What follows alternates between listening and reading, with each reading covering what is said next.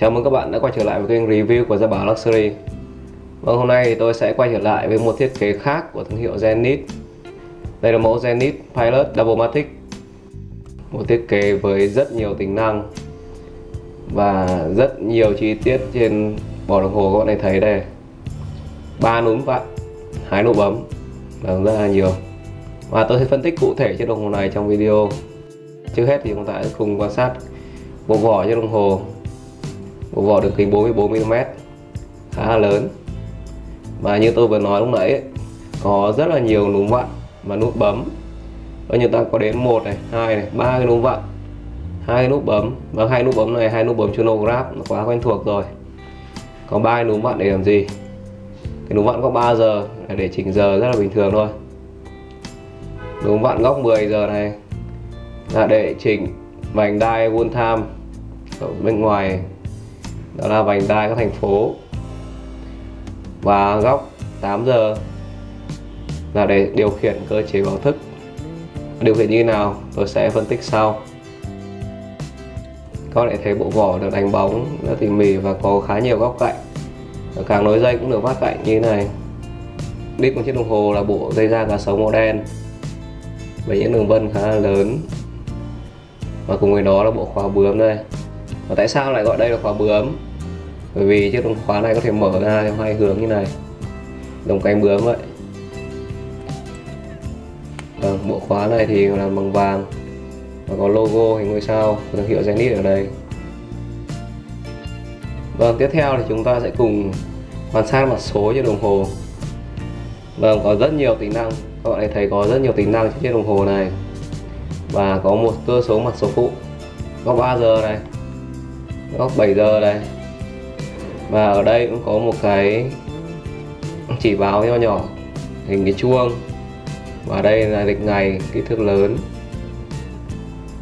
Vâng có rất nhiều tính năng. Trên đồng hồ này chúng ta có tính năng one time này. One time thể hiện qua cái vòng bên ngoài này này. Chronograph là cái kim ở trung tâm và cái mặt số góc 3 giờ. Còn tính năng báo thức được thể hiện qua cái kim đầu đỏ ở đây.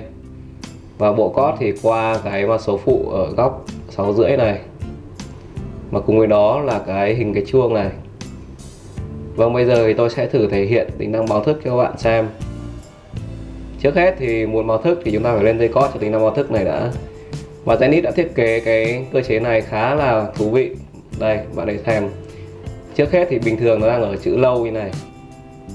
Và khi chúng ta vặn cót Vâng vặn theo chiều như này chúng ta vặn dần cót lên. Thì bên trong cái vạch nó sẽ thay đổi dần. Đang từ lâu màu đỏ, chúng ta sẽ chuyển dần sang màu xanh.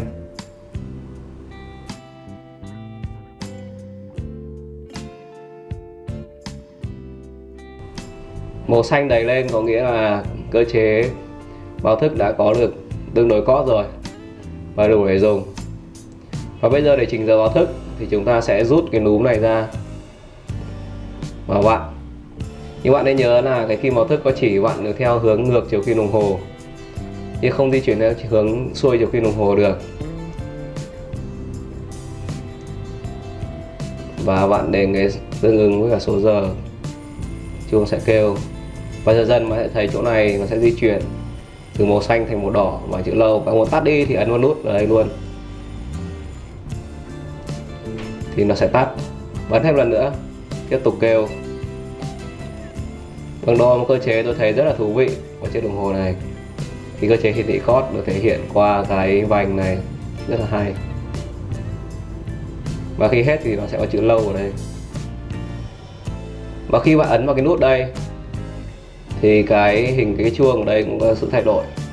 Nếu màu xanh là tính năng báo thức sẽ hoạt động, còn nếu bạn ấn một lần nữa là sẽ đổi sang màu đỏ. Và tính năng báo thức sẽ ngưng hoạt động vâng ấn thông một lần nữa lại thành màu xanh còn về tính năng one time thì như thế nào? Vâng one time thì được chỉnh qua cái đúng vặn góc 10 giờ này. Và việc chỉnh thì cũng khá đơn giản thôi. Bạn đang sống ở múi giờ nào? Thì đặt múi giờ đó lên trên đầu, chúng ta đang ở Hà Nội, đúng không? Hà Nội thì cùng múi giờ với Jakarta, Bangkok. Thì chỉ cần đặt cái Bangkok lên trên đầu và tương ứng với đó, chúng ta sẽ quan sát tất cả những thành phố ở trên vành đai theo thời gian. Và bạn có thể quan sát đây là 10 giờ sáng hay là 10 giờ tối qua cái đĩa này cũng được. Như đây bạn thấy màu trắng đây, ở phía trên là 10 giờ sáng. Còn nếu là màu đen thì là 10 giờ tối.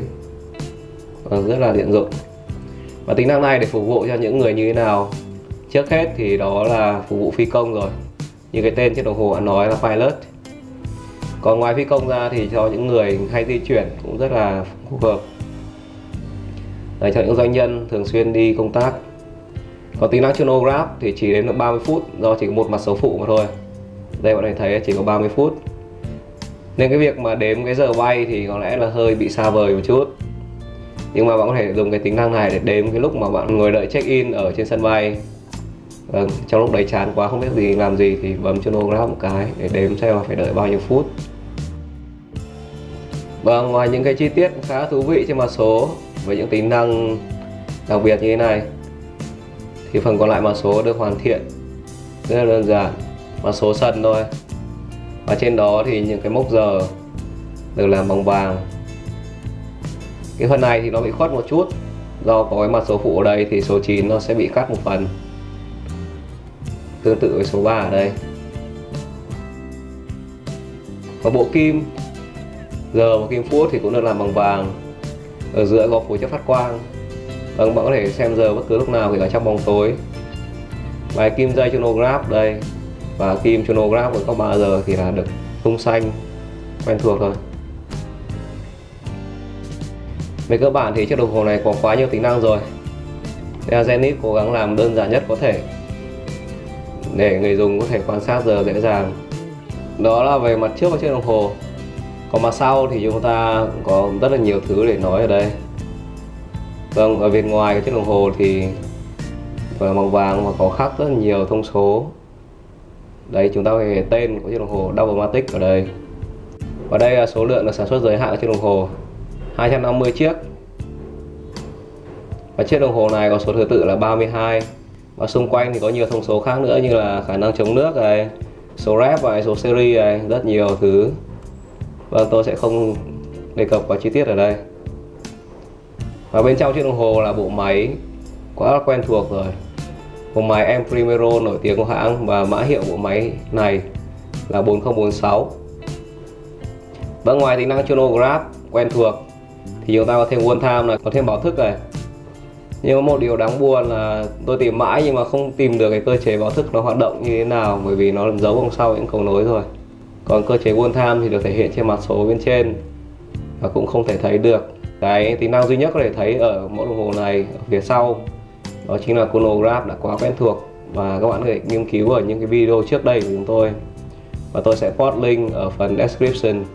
Và về độ hoàn thiện thì có thể thấy là chúng ta được sử dụng những cái phương pháp truyền thống rất là quen thuộc. Như phần sau của test và vân xoáy tròn này. Và cái phần rotor ở đây thì được cắt ra một phần vâng cái phần này thì người ta gọi là thiết kế skeleton. Cắt ra và để ngôi sao ở chính giữa đây. Ngôi sao này là logo thương hiệu Zenith.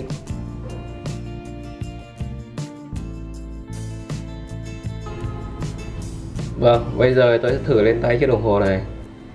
Như đã nói từ trước thì chiếc đồng hồ có đường kính 44mm Khá là lớn.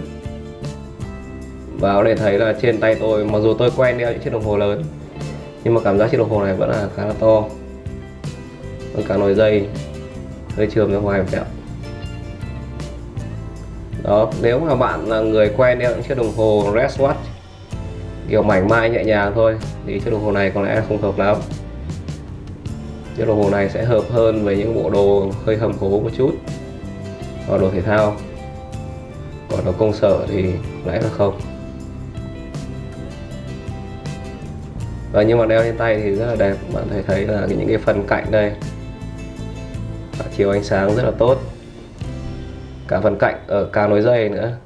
Và nhiều góc cạnh thì sẽ làm ánh sáng phản chiếu nhiều hơn. À, mẫu đồng hồ Zenith Pilot Doublematic có mức giá chính hãng lên tới 31.500 đô la Mỹ. Mà tất nhiên là đến với giá bảo Luxury thì các bạn sẽ có mức giá chiết khấu ấn tượng nhất. Để biết thêm về chiếc đồng hồ này các bạn hãy truy cập ra bảo luxury.com Xin chào và hẹn gặp lại.